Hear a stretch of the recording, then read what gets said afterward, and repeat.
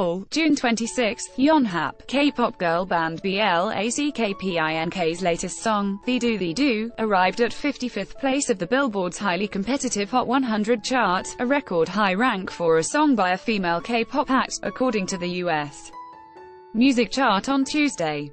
Blackpink makes K-pop history on Hot 100, Billboard 200 and more with Ddu-Du Ddu-Du, Billboard said, announcing the result of the chart dated June 30 on its website. The all-female quartet debuts the highest charting hit ever by a K-pop girl group on the Billboard Hot 100, with Ddu-Du Ddu-Du, opening at number 55, according to the website.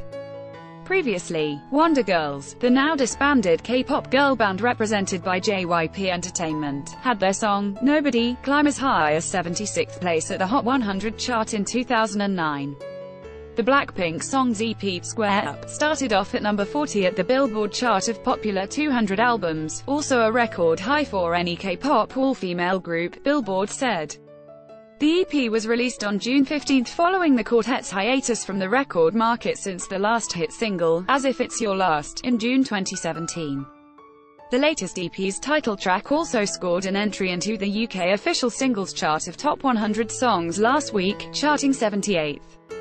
It was the first song by a K-pop female band that made it to the UK music chart. In about 10 days following its release, the title track's music video garnered a record 100 million YouTube views.